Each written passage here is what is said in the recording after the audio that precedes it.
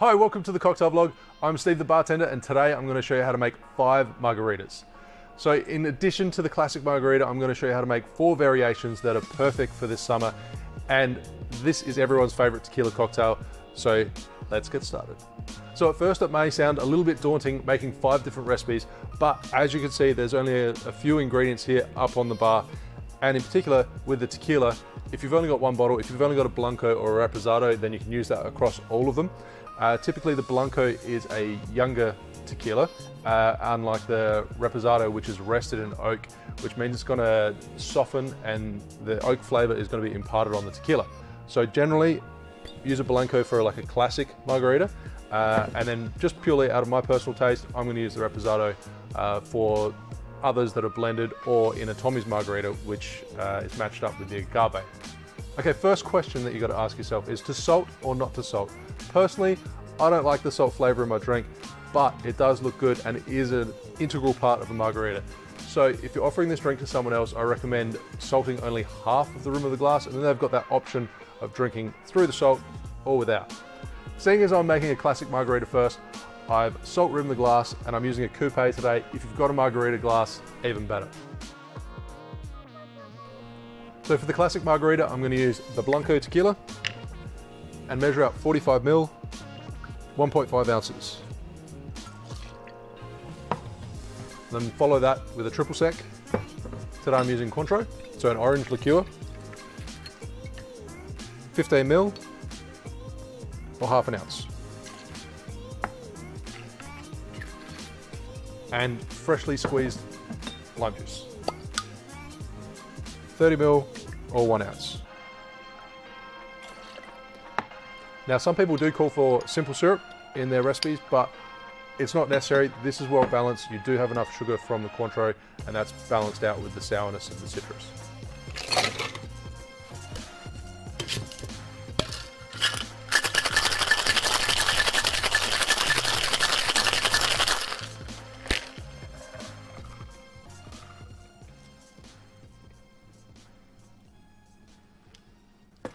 And there you have a classic margarita.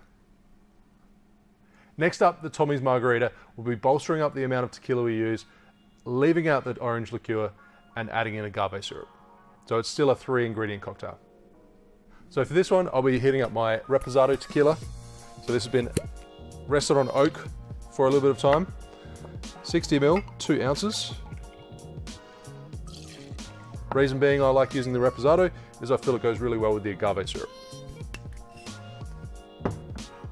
Then we follow that up with 30 ml or one ounce of fresh lime juice. And then lastly, use your agave syrup. The reason I don't actually measure this is because it clogs up the, uh, the jigger and I'm about to use this jigger in a couple of seconds time. So 15 ml, half an ounce, but I usually like to estimate it.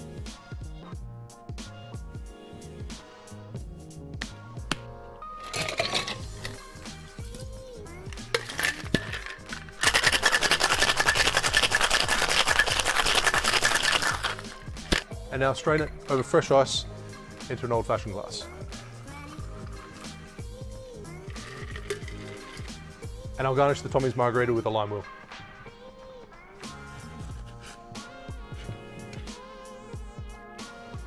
There you have the Tommy's Margarita. So next up, the cucumber and jalapeno margarita. So this is where it starts to get a little bit more creative and we're gonna start muddling some cucumber and then shaking it with the jalapenos to throw some heat through the drink. And we've also added a little bit of a chili flake sulfur in. Actually, I might change the shaker over so you can see me muddling. So, to your Boston shaker, add in a few slices of cucumber,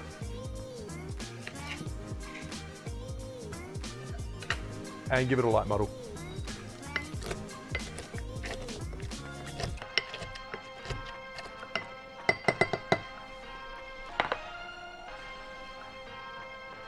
Next, we want to add a few slices of your jalapeno.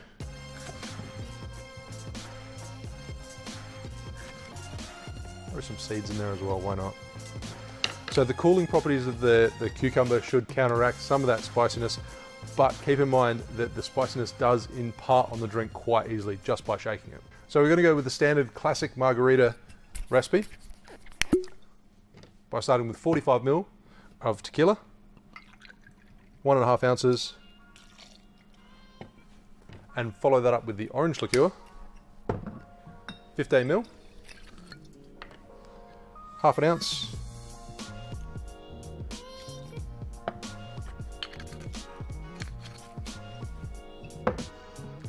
and 30 fresh lime juice. One ounce.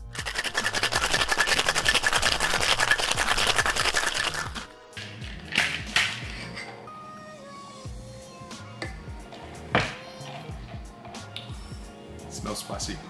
So for this one, I'm just going to dump the contents of the shaker into the glass.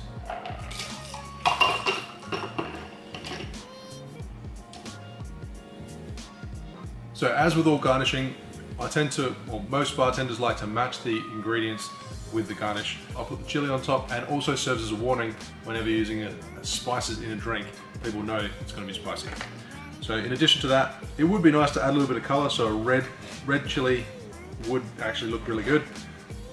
But I had a slice of cucumber in there so you can eat that as you're going through that spicy margarita. So there you have a cucumber and jalapeno margarita. Cheers. So next we have the mango margarita, something a little bit sweeter. I'm choosing again to use the Reposado. I keep saying choosing, but one of the main reasons is because I'm running quite low on my Blanco. I'm going to measure the same as a classic margarita. 45 ml, 1.5 ounces, followed by my orange liqueur, 15 ml, half an ounce.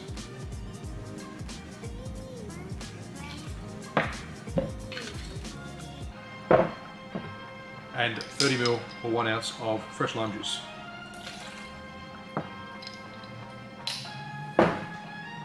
So mango margarita, I'm going to add the mango pulp into the blender jug and add about half a cup of ice before blending. Of course, that's the versatility of the margarita, especially when you're doing a frozen margarita, is instead of mango, you can add strawberry, you can add all different kinds of fruit and make different fruit variations.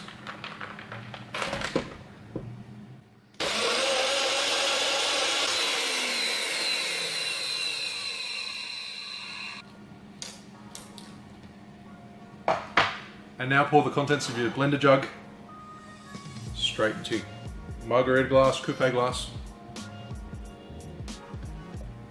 So if you want to, you can add more ice and you can essentially make a bit of a, a mountain out of it, but then it's a little bit too diluted, it's too much water in it. I quite like it like this. It's got a nice smooth texture to it, especially with the mango. For garnish, nice and simple, just a lime oil. And there you have the mango margarita. And next up, something that I haven't actually made before, the Mexican Bulldog, otherwise known as the Coronita Margarita. So for those that don't know, the Coronita is a miniature baby size, adorable little Corona. Uh, 210 mils, and it's pretty much, the Mexican Bulldog is just a frozen margarita with a beer dumped in it. So if you don't have Corona or Coronita, then you can always use some other Mexican beer. So again, it's a blended drink, and I'm going to start off with my Reposado tequila.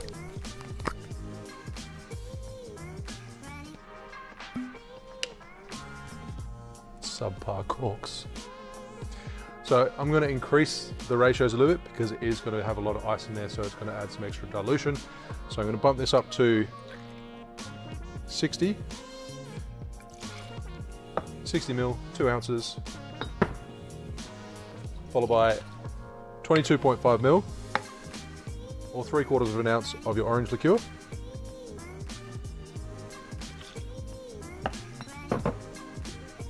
And fresh lime juice. 30 mils, one ounce, plus a tiny bit more. So add about half a cup to three quarters of a cup of ice.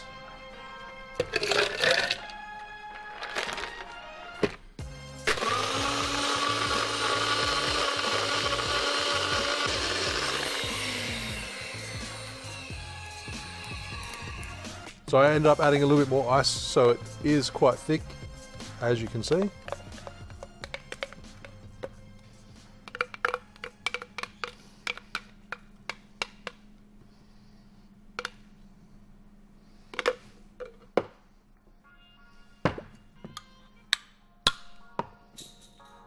and then simply upturn the Coronita into the margarita.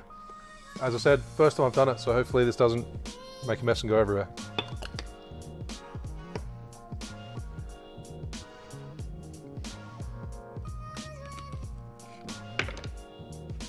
And garnish with a lime wedge.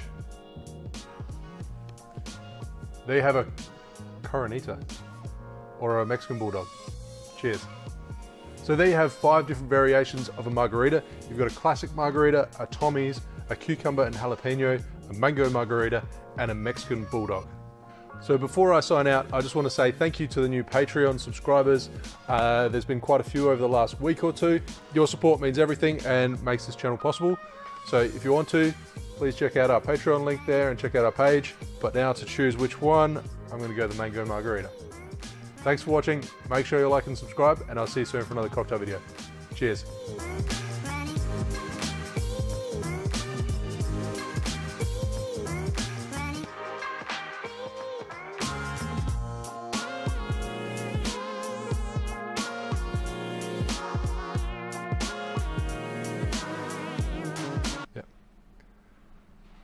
And for the Tommy's Margarita, I'll garnish with it